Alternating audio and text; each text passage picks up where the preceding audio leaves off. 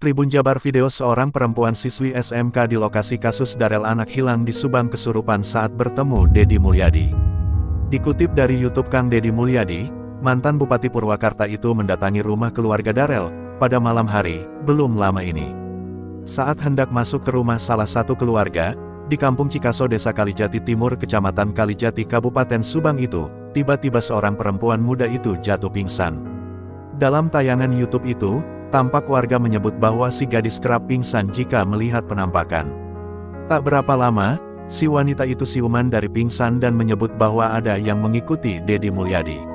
Ada yang ngikutin bapak, nenek-nenek, kata si perempuan, ke Dedi Mulyadi. Akhirnya perbincangan pun berlanjut hingga Dedi menanyakan di mana Darel si anak hilang di Subang secara misterius itu sejak 10 hari lalu. Si perempuan kemudian menyebut dan menunjuk ada di rerimbunan pohon bambu di kampung itu. Dedi kemudian memintanya untuk menunjukkan tempat tersebut. Namun belum lama berjalan, si gadis sudah nyaris pingsan karena kepanasan. Dedi dan warga kemudian mencari-cari ke berbagai semak dan rerimbunan pohon bambu di lokasi tersebut. Namun, Darel tak kunjung ditemukan.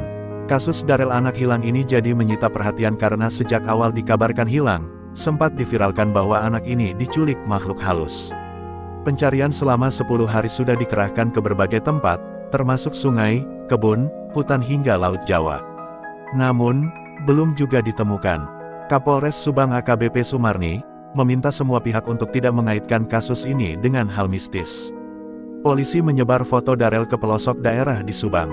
Selebaran berisi foto Darel dipasang di semua tempat keramaian hingga fasilitas publik seperti mall, pertokoan, ATM bahkan hingga ke warung-warung di pelosok desa, pos kamling hingga pangkalan ojek. Sementara itu Tagana dan Polsek Belanakan menyusuri Sungai Ciasem hingga Muara dan perairan Laut Jawa. Pencarian hingga ke laut, karena di lokasi awal Darel hilang, ada sungai yang bermuara ke Laut Jawa. Sementara itu, Satreskrim Polres Subang mulai bergerak menyelidiki dugaan pidana di balik anak hilang di Subang itu. Salah satunya dengan memeriksa pihak terkait termasuk keluarga. Pemeriksaan melibatkan tim psikologi forensik dari Polda Jabar terhadap pihak-pihak terkait. Tidak hanya itu, intelijen Polres Subang juga dikerahkan untuk menyamar dalam melakukan pencarian Darel.